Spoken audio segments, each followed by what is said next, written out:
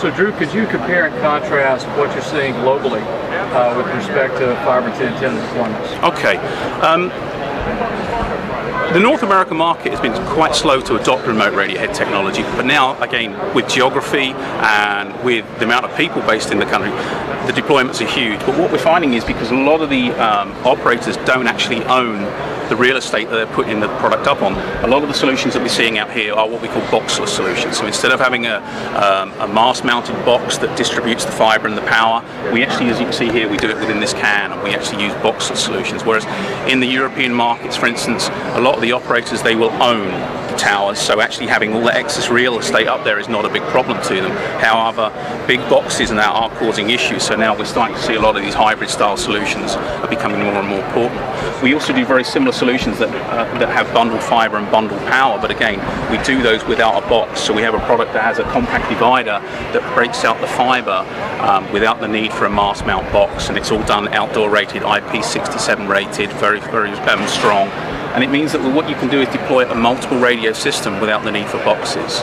Um, the other big driver we're seeing as well is, is the fact that you know the biggest cost in these solutions can be the copper, um, where some operators, predominantly in Europe, uh, have been ripping down old 2G systems. They're left with the uh, corrugated um, cabling going up the mast, the old RF cabling, and we have a system that allows us to reuse the, that corrugated cable as a power source for the remote radio heads. And so that's a big driver in the European markets as well.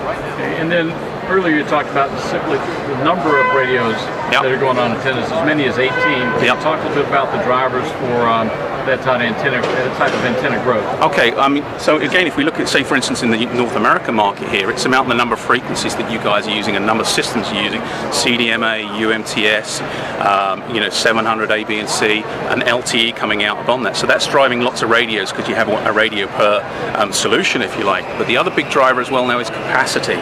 Um, we're seeing um, a lot of the opcos where they're going away from three sector uh, installations to going to six sector installations. So they're halving the, the beam width, if you like, of their sectors because they have so much capacity going through those cell sites. And every time you do that, typically that means more radios going up there. So again, by decreasing the amount of cables you have running up the mast means that you can have a simpler and more cost-effective install in doing that.